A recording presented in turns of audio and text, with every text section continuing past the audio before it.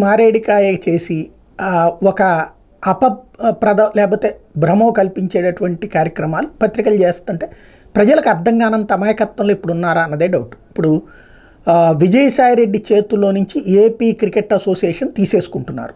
చాలా బాగుంది. వాళ్ళ కుటుంబం చేతుల్లో నుంచి అని రాశారు. బాగుంది. ఇందులో అసలు వార్త ఏంటంటే కొత్త అధ్యక్షుడిగా Vijayawada MP Kesineni Sivanath question mark. అంటే ఎవరికి వచ్చినట్టు అప్పుడు పోనీ కేసినేని శివనాథ్ నాని చి- చిన్ని ఏమన్నా క్రికెటరా? ఇప్పుడు విజయసాయిరెడ్డి క్రికెటర్ కాదు.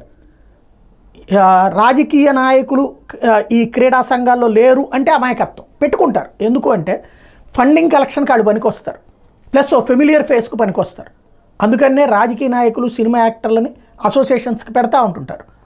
అదే సందర్భంలో అట్లా లేకుండా ఉండేటటువంటి దానికోసం ఎప్పటికప్పుడు చర్చ జరుగుతూనే ఉంటుంది. బట్ టోటల్గా ఉట్టి ఆ క్రీడాకారులకైతే మేనేజ్మెంట్ తెలవదు. రాజకీయ నాయకులకు తీసుకుంటారు. ఇదివరకు తెలుగుదేశం హయాంలో తెలుగుదేశం వాళ్ళు ఉంటారు. ఇప్పుడు తెలంగాణలో ఏం జరిగింది? లేకపోతే ఎక్కడెందుకు జాతీయ స్థాయిలో ఇప్పుడు జైషా బీసీసీఐకి చేస్తాం. అంతకుముందు కాంగ్రెస్ పార్టీ సంస్థ శరద్ పవార్ ఉండేవాడు. కాబట్టి ఇది జరుగుతూనే ఉంటుంది. కాకపోతే ఇప్పుడు ఏమైంది ఇంతవరకు వైఎస్ఆర్ కాంగ్రెస్ పార్టీ వాళ్ళ చేతిలో శరత్ చంద్రారెడ్డి వీళ్ళందరి చేతిలో ఉంది.